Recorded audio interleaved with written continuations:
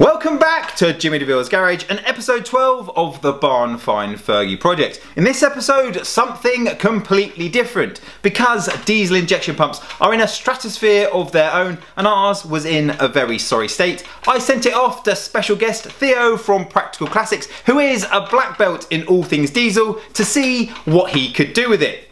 Here we go.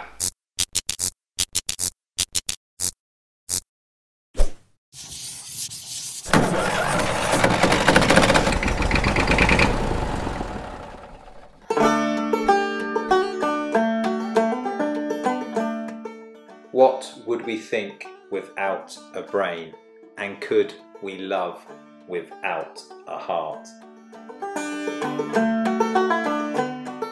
Those are questions I'm not here to answer, but one thing I do know our old diesel engine will never run without an injection pump. Will it ever pump again? So, while Jimmy and Gav have been up to their elbows in the bowels of the engine, I think there's going to be the brain, the heart, the soul of the engine in this box in the shape of the injection equipment. So, let's have a quick look and see what we've got. Can I just say, very nicely packaged, Jimmy. Very safe. Right. Oh, smells good. If you're watching this in smelly vision, scratch panel A of your scratch and sniff guide in order to enjoy the full aroma of broken diesel equipment. Oh, it does smell nice. Oh, bonus injectors. And what's this? Comes complete with a oh, comes complete with a t-shirt. Well, oh yes, so there it is. Uh, this is a CAV BPE injection pump and probably more green than CAV intended and more oxidization. Uh, doesn't appear to turn. Some of the levers move. Probably time to go for a cup of tea I suppose but I think we should have a look inside. Oh the joy of a sharp screwdriver.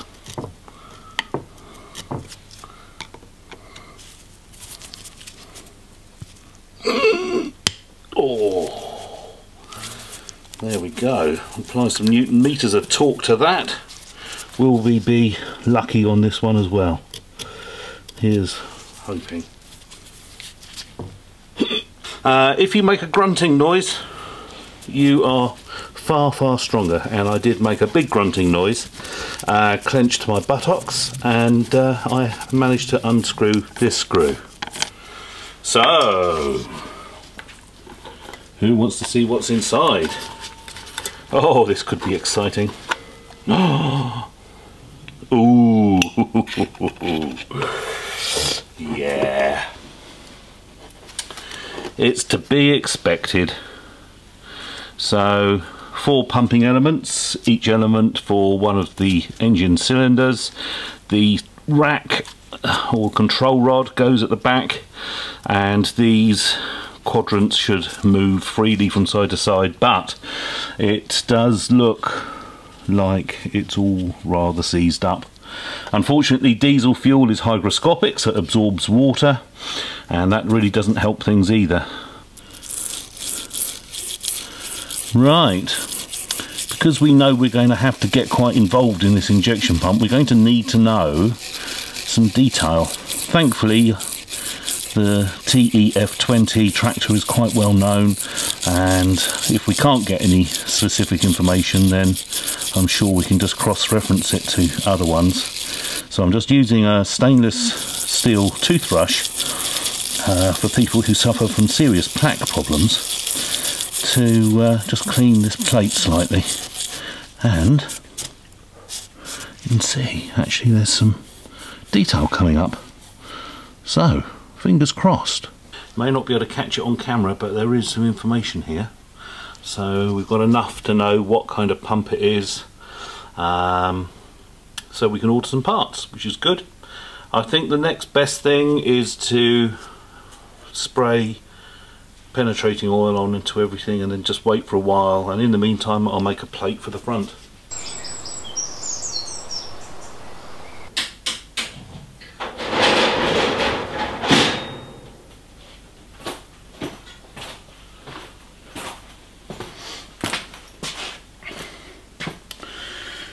So,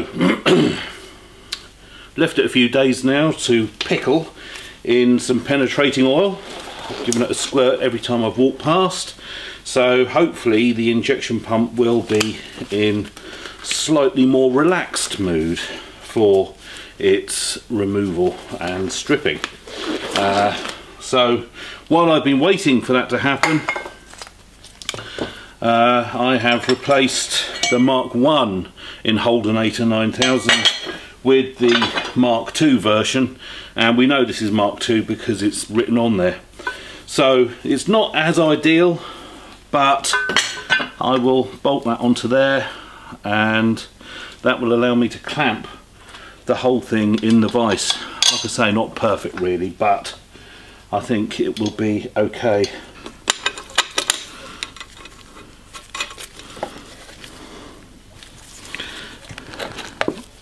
Beautiful.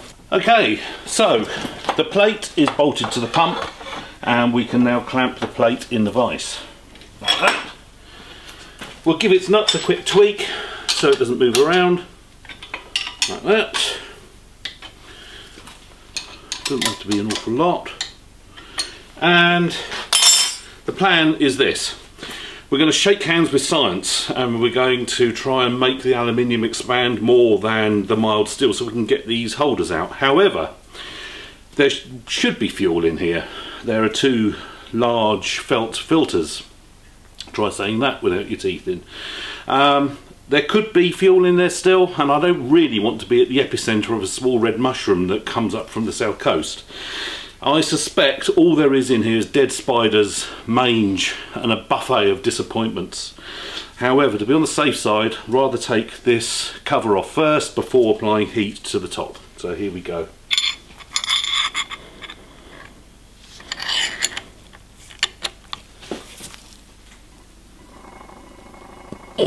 Grunting didn't work, what's the next plan? Here's the plan. A sacrificial metric nut placed over the screw we want to undo and then fill that with weld. Hopefully the heat from the weld will make the aluminium expand more than the steel if it obeys the laws of physics and we also have a larger area to unscrew. Hopefully that works. Fingers crossed.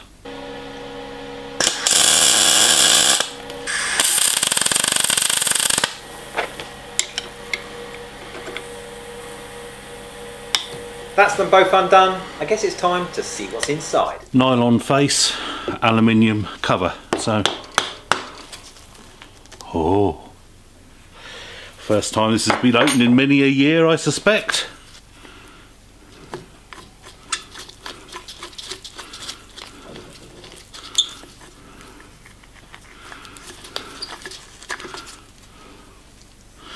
Uh.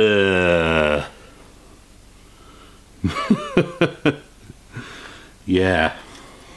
Okay, so many people think that aluminium doesn't corrode, but it does, and this is a lot of aluminium oxide in here.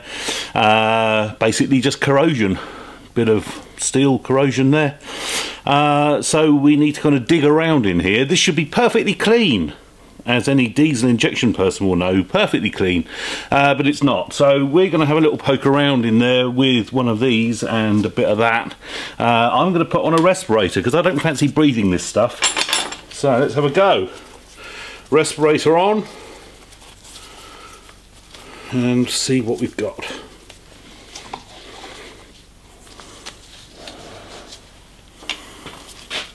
Mmm.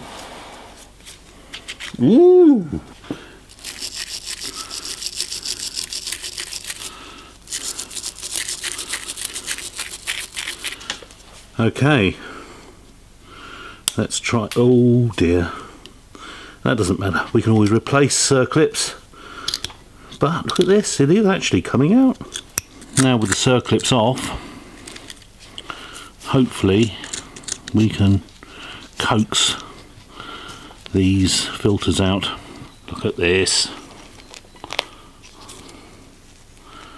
So this is a retainer for the secondary fuel filter. So we shall put that carefully in a tray. I don't think this is going to go again, Jimmy. Sorry, I think we may have to replace this.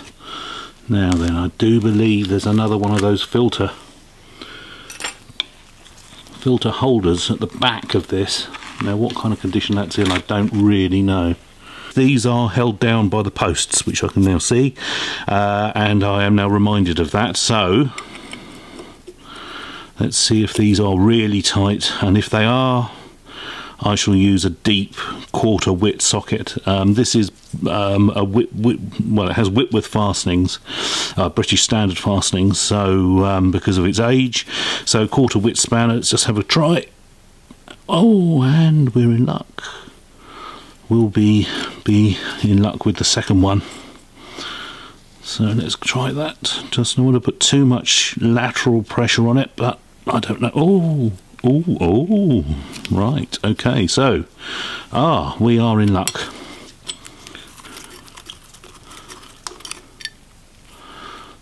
Ooh.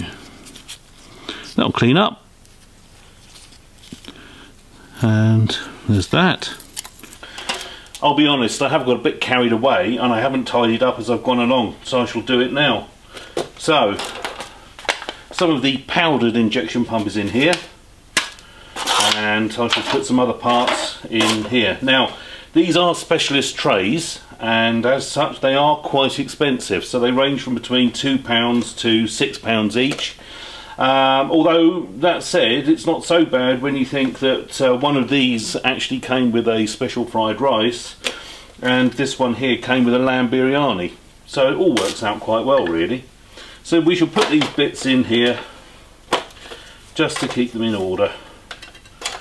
And we are not cleaning them yet. We'll go through and assess them later on. Look at that.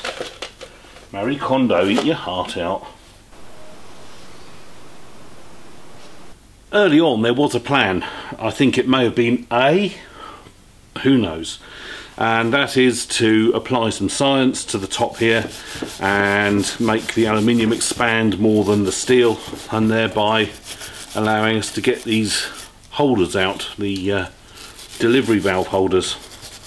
So, slightly worried about the fuel in there, but there is none, so let's have a go. So, the idea is warm this up. Aluminium expands about twice as much as steel does, so we don't have to go mad, and we'll give it a go. We'll uh, Normally I use a T-bar like this with a 12 point socket but I think this count calls for one of these really. So 6 point socket. Now I'm slightly worried because we're just bearing upon the front flange of the pump which I don't really like.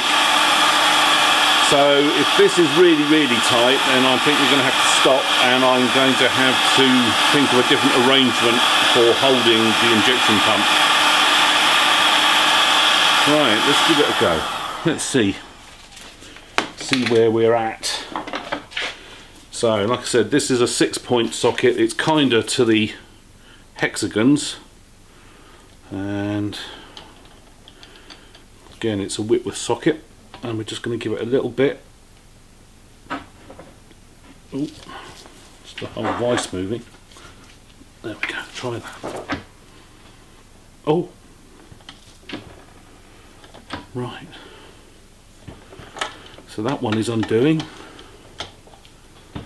That one was very loose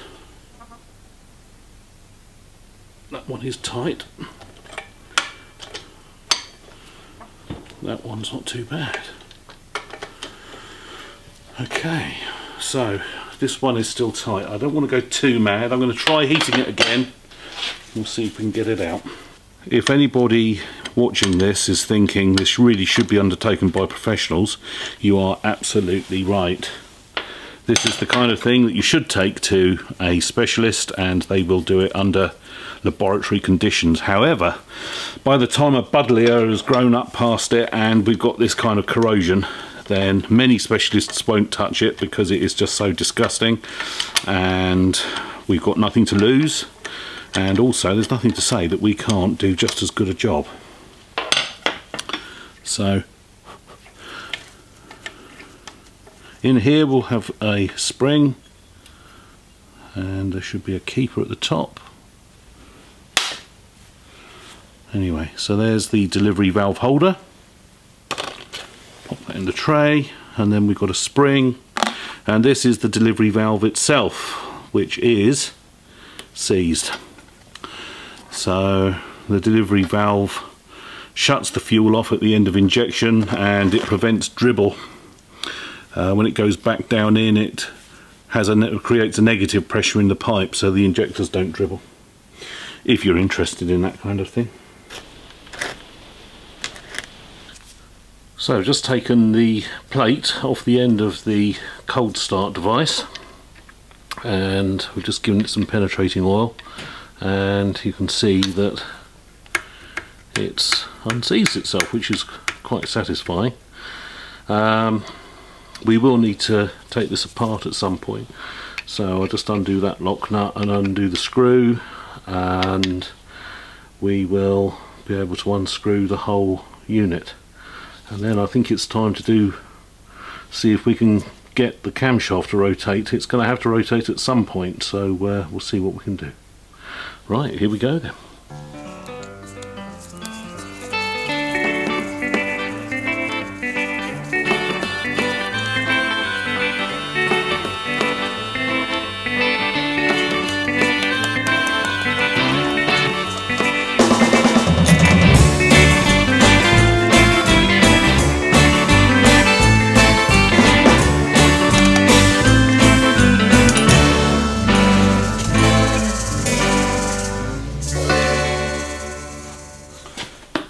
Okay, so there has to come a point when we try and turn the camshaft.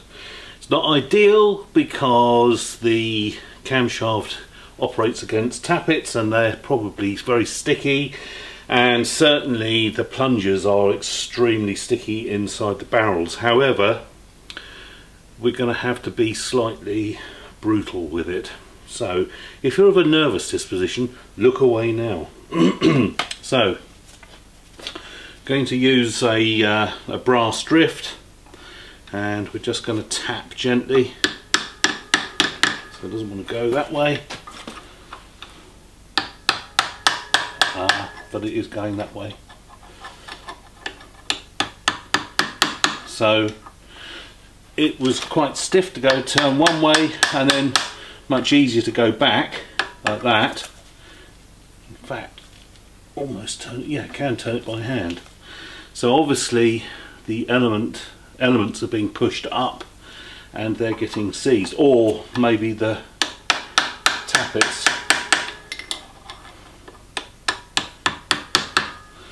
We have been soaking the pumping elements however so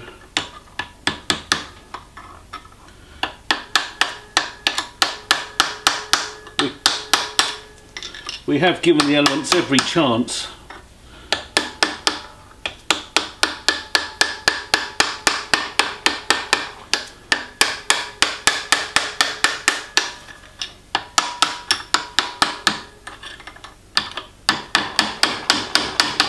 Right, it's gone round a fair amount, so let's have a look. So in here we can see that a couple of uh, the tappets have come up so I can tap those back down. There we go. And using the rod I can see that some of the plungers are up and you can hear as they go down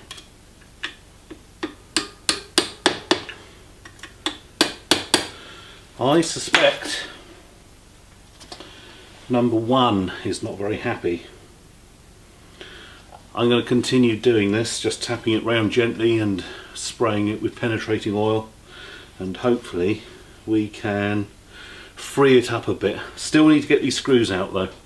Still need to take the pumping elements out. I would imagine the pumping elements are not good. Um, one thing to note, now that we've got the cold start off, you can see the end of the control rod or the rack and it's really important not to hit that because the quadrants have got very fine teeth on and it's very easy to damage them.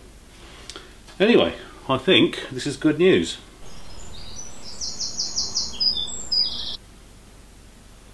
I've just got back from Toolstation where I've bought some security nuts.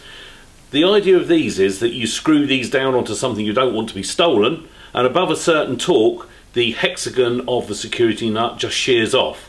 So I have purposely sheared these off in the vise, leaving just the conical part, which I hope to place over the screws in the injection pump we want to take out. I'll then weld down through that conical part onto the screw and hopefully use some pliers or similar to undo the screw, hopefully not damaging the body. Let's give it a go.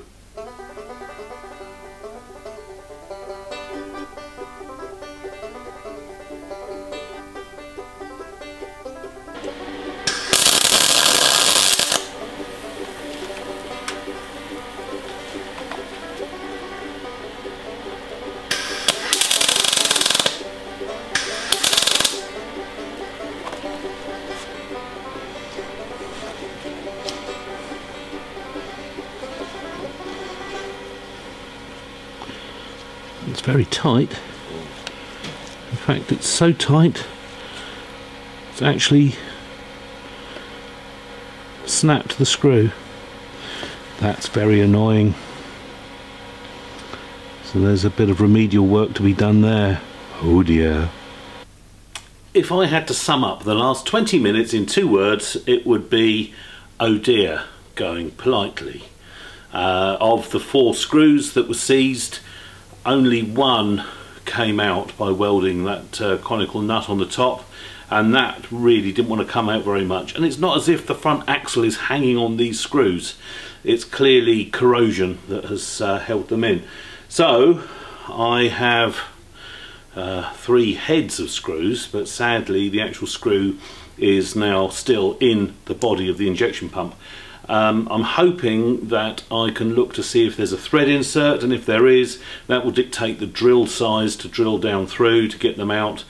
Um, I do feel slightly vindicated because it means that there would be no way of unscrewing these with just an ordinary screwdriver.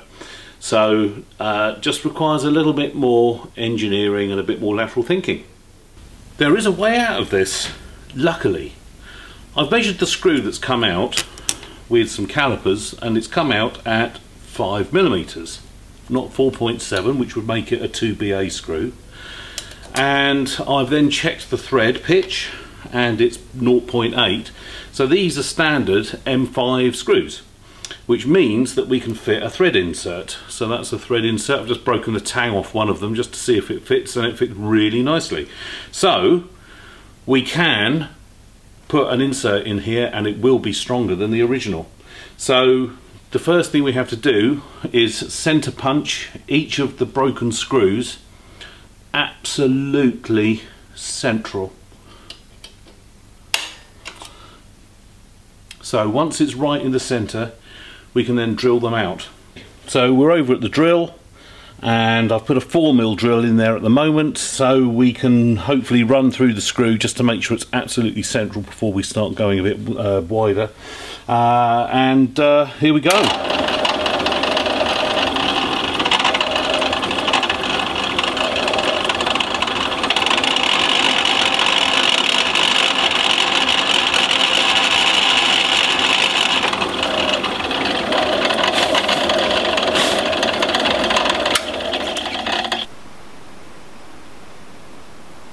things haven't gone very well again. So we've drilled the screws out here, so hopefully the elements will come out. Um, I haven't retapped them or thread in, put thread inserts yet because it's not time. Um, I've tried to take the screws off the end of the governor uh, by using the, the usual method. So I've uh, welded uh, a nut to the end of this screw and it came out. I welded a nut to the end of the other screw and it snapped off. Uh, so I'm now going to undo the governor itself and hopefully we can take this off and uh, progress with the disassembly. So these are just some of the screws that came undone, surprisingly. So uh, hopefully the diaphragm and the spring will be in good condition and we can take this out.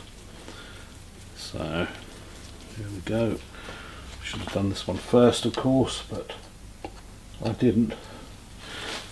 And hopefully I can get the housing, the end housing off the governor afterwards after we've done the rest of it but we'll have to have a look the uh, cross shaft in the end of the governor has got a lot of play how much probably a day's ride on a strong horse so there we go uh, and that's the governor spring so that biases the, the rack to the full fuel position and uh, that doesn't look too bad. I would imagine the diaphragm will need changing. But uh, there we go. The governor is off and hopefully we can now continue to uh, take out the camshaft. So this engine has a pneumatic governor. So as you open the throttle so the manifold depression drops and it allows the rack to go across and oh yeah this is going to need a new a new diaphragm but uh, there we go. So inside here there is a, uh, a, fixing that connects the diaphragm to the rack. So uh, I shall take that out and hopefully take this housing off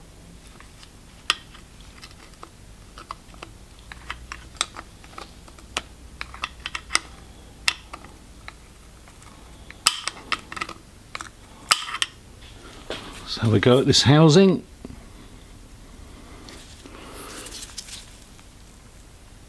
And there we go, you beauty. That could have been horrible, couldn't it? Thankfully it wasn't. So, that's the top fixing out. And the bottom fixings are zero BA screws. So they are 10 sorry nuts 10.5 millimeters or thereabouts across the flat. So only a zero BA socket will do. So we'll take those off. He says hopefully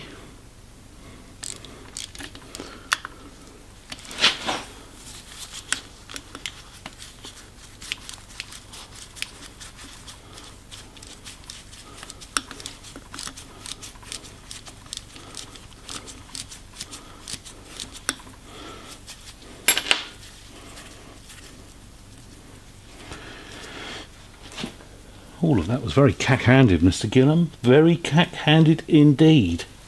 Done like a rank amateur. However, there we go.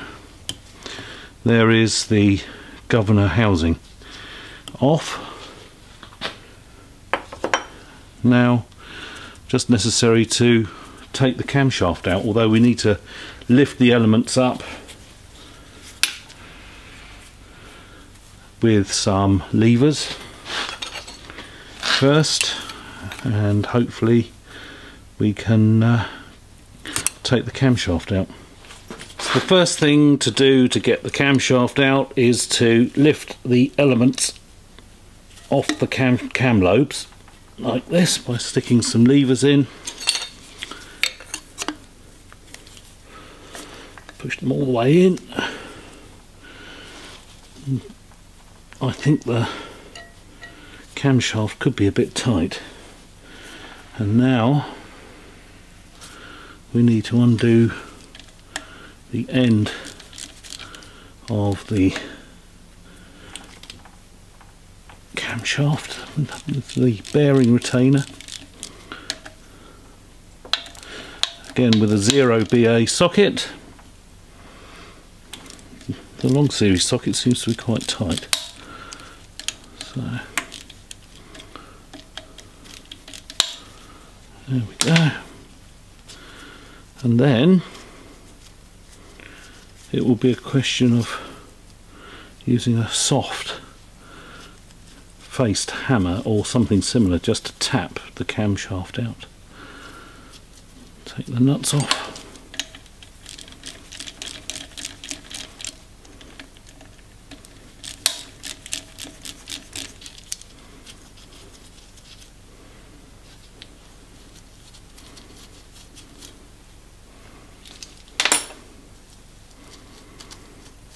So these spring washers are going to have to be replaced because they have gotten quite flat and they are fairly useless.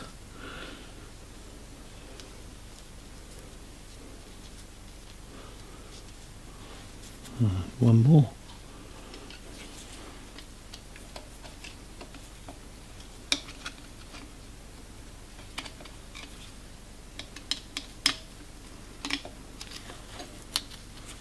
That one's stuck. Right, let's see.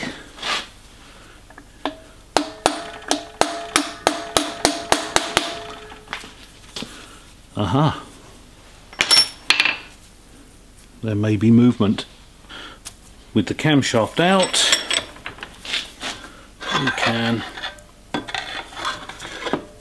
think about taking out the elements. So, slightly later pumps have these plugs, Welsh plugs, pushed into the bottom. So it's just a question of popping each plug inside.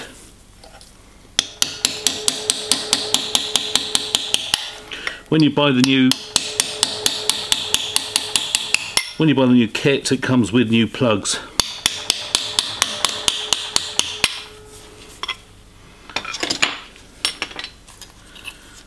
So that's what they look like. And it's all pretty filthy and nasty, which is always quite satisfying really. Nothing worse than doing a rebuild on a pump or something and finding it to be like new inside. Far from it on this one. Ew. Really is quite disgusting. Uh, so we take out the levers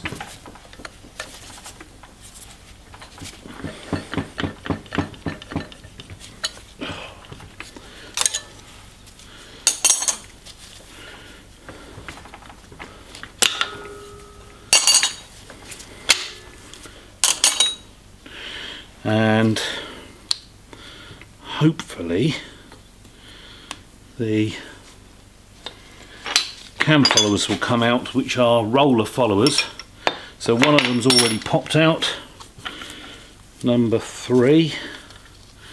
And that's what the cam follower looks like. So that needs to be kept in order. So we'll put that in the tray marked number three because these pumps number from the left hand side of the window. So yeah that looks pretty disgusting but we can clean that up and assess it later on. Okay, so we have the camshaft out and we've taken out the cam followers and it's just a question of now taking out the elements and the number two element was fairly free. So that's the one to take out first. And this is incredibly delicate it's there we go. So that was the element that is free and easy. So we'll put that in number two. Epic progress Theo with the other three elements quickly following suit. So the control sleeves these here should just come down which this is in an ideal world so The control sleeve has a quadrant on there which has teeth that meshes with the rack or the control rod and it's best not to undo the screw here because this will um, lose all adjustment. Uh, it's always a good idea to keep basic adjustment anyway. And what is left here is the barrel which actually is quite loose. So obviously we drilled that screw out quite nicely and there is the barrel. So that is the matched pair to the plunger. And we've got the spill port. You've heard of spill timing. That is the port. Again, absolutely filthy disgusting. Hopefully when we clean this up, the plunger and barrel will go again, but I don't really know. We need to just clean it all up. So I will repeat for the others, although they do seem to be quite disgusting and tight. Okay, time to take stock of what we've got. So, I did indeed have to use a punch to punch three of the uh, barrels out. Only one of them came out in the way that CAV intended, so uh, the control sleeves didn't just slide down as they normally would. Uh, but it, the body's pretty much stripped now. Um, the only thing that I would have to do in the back, there's a little lead seal that holds the screw in to the back which retains the rack. I managed to get the rack moving uh, so that screw can come out. And another little thing that I found, which is a bit of an anomaly, in the end I've noticed there's some damage and I'm happy to put my hands up if it was me, but I'm pretty sure it wasn't.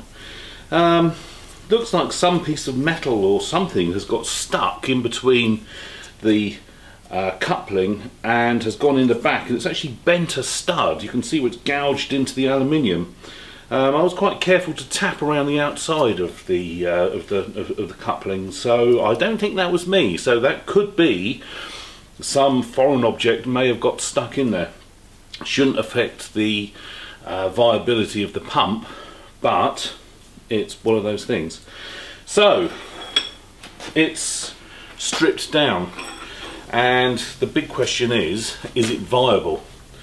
Well everything's repairable but unfortunately it may not necessarily be cost effective so having cleaned the plungers and barrels up I found that actually there's quite some discoloration on the plungers and under a microscope you'd probably see very small pits and probably they are not going to go again.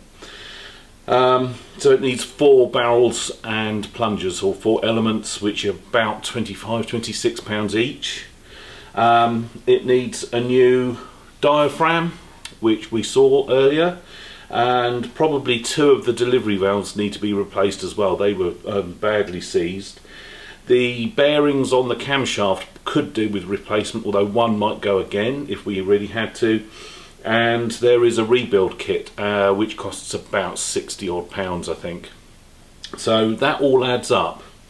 Um, there's also some faffing around. We've got to put uh, uh, some helicoils in here and there. We need to replace some of the screws and what have you. Um, but there's also funny things that it makes you wonder whether or not we, it would go again or not. The delivery valve holders clearly made from Stern stuff. Um, very low flow but very high pressure. Um, and some of them have been very badly corroded by uh, just being out in the elements all that time. Um, so it could could it do with some more of these? I don't know.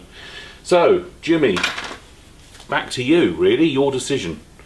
Wow. Epic work, Theo. That pump really is in a terrible state, and we're going to have to work out the best direction to go with it next, whether to repair or replace. And that's all going to depend on what's available and how much things are going to cost. But don't worry, we will keep you up to date in a later episode. Sadly, that is the end of this episode. If you've got any comments or questions, please leave them in the comment section down below. And also, don't forget to hit that almighty subscribe button in the sky and also the little bell icon so you'll know the next time we we release an episode. Until then, happy tracturing, and we'll catch you later. Well,